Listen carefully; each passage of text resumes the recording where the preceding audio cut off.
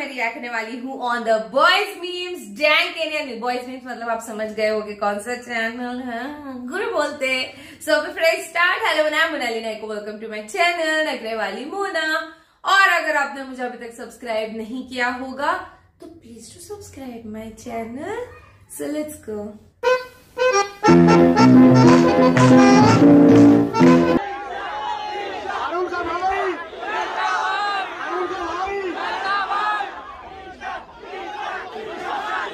A few minutes later.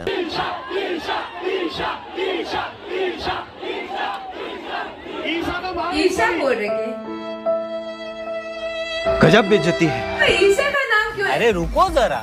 सबर करो। सबर करो।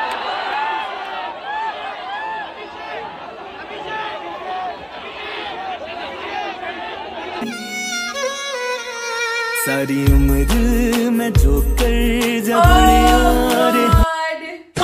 बनना क्या आपको? फ्यूचर में बनना क्या? अभी देखिए रिज़ल्ट आएगा तब ना। रिज़ल्ट आएगा तब विधायक उधायक बन जाए। अच्छा अच्छा एक बात बताइए फेवरेट सब्जेक्ट कौन सा? फेवरेट बैगन। आपका क्या? बायो बायो बायो में क्या पढ़ते हैं? बायो में human reproduction in human being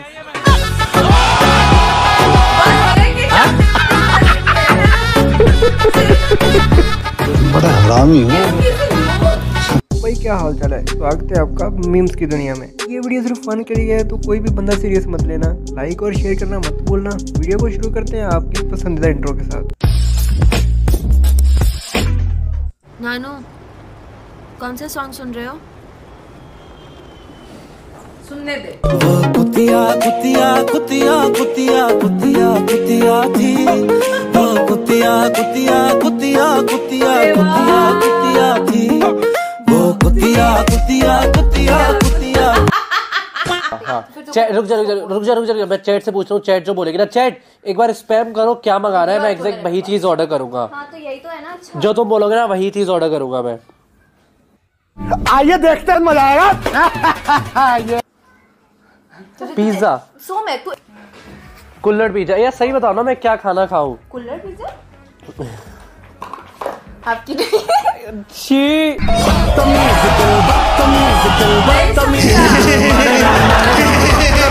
दिल गार्डन गार्डन हो रहा है बहुत मज़ा आ रहा है यहाँ पर। प्यारी समझ गई। बिल्कुल नहीं समझ गई। आंसर इन थ्री सेकेंड्स आप माँ की क्या हो?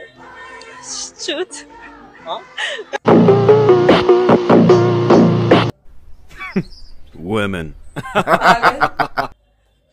मंजिल ने हौसलों से कहा तेरी बस की बात नहीं। क्या बात? मंजिल ने हौसलों से कहा तेरी बस की बात नहीं। हौसलों ने मंजिल के आँखों में आँखें डाल का कहा चल झुट्टे तेरी माँ की चू। ये लड़का गाली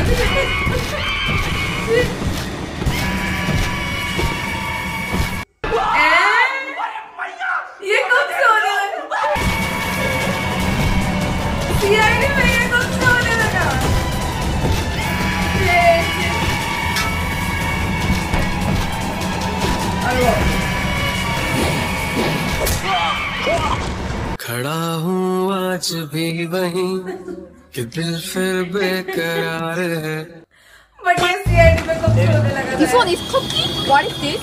दाल वड़ा मसाला vada Masalola. Masalola. Can I try masalola? How much is it masalola? बेचारी ने हर रील में हर वीडियो में कुछ ना कुछ गलत एक है सोनू प्यारा प्यारा घर वालों का राज दुलारा जब स्कूल की आती बारी मन हो जाता भारी भारी। पर मम्मी पापा सोनू से बहुत प्यार है करते नहीं देख सके उसे रोते भी लगते। किया उन्होंने समझदारी का काम सोनू का इंदू आईटी स्कूल में डाला नाम। Indu IT school?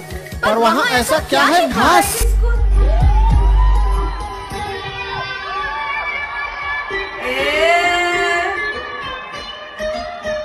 ये स्कूल का फ़ंक्शन नहीं हो सकता।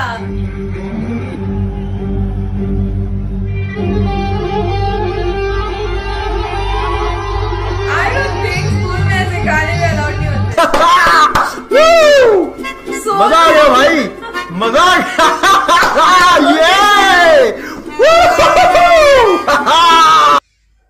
outside of the country, within the country in Delhi, and now in Pune. I mean, I can't wait to see the turnout in the evening and. Uh, it's just, it's just, it doesn't even feel like work. We are all just having such a blast on stage. The entire team has done such a fabulous setup and you know put this show together for us, and we as artists um, have just enjoyed performing. जुबानी सुनो मुझे प्यार हुआ था इकरार हुआ कहानी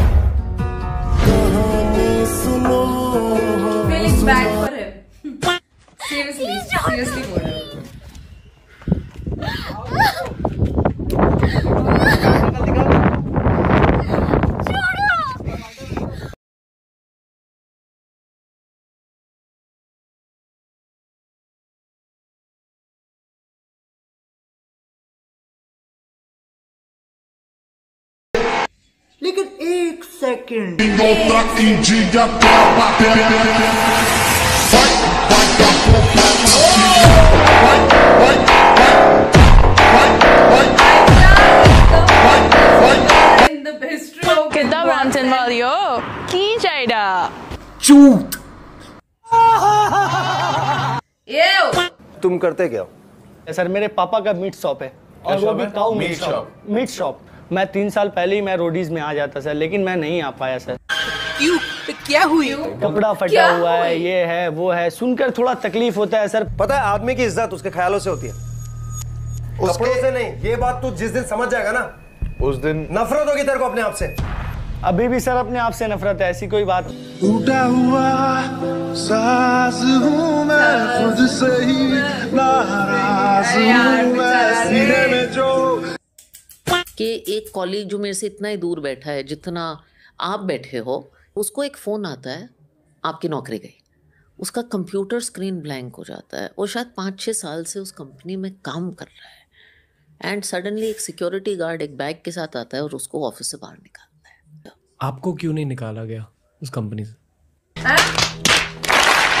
अबे तू थोड़ा सा बहन का लोड़ा क्या? हमने पूरे परिवार में पता होना चाहिए क्या चल रहा है। हमारे मोबाइल फ़ोन का लॉक करने का जो नंबर होता है वो परिवार के सबको अगर पता हो तो क्या नुकसान होगा? एक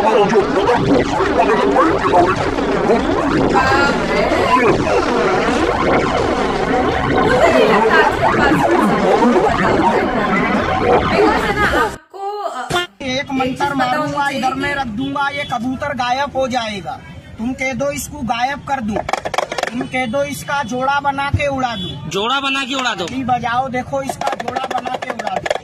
ये आ गया। बोलो छोड़ दो। छोड़ दो। चर खुश दो बन गया। बोलो दिखा दो। तीन बना दो। तीन ब... अरे बीच में प्लान चेंज करता है क्या? साड़ा ओके और मेरे को लगता है पासवर्ड की बात ऐसी हो गई है कि बिकॉज़ अभी अ, हमारा जो ट्रांजैक्शंस होता है सारी चीज़ें मोबाइल पे ही होती तो मुझे ऐसा नहीं लगता कि मोबाइल का पासवर्ड सभी को पता होना ज़रूरी है। आई डोंट थिंक सो मतलब इतनी transparency because people are judgemental आप अगर कुछ गलत नहीं भी कर रहे हो तब भी कुछ गलत ढूंढ के निकालना ऐसे ही ज़बरदस्ती।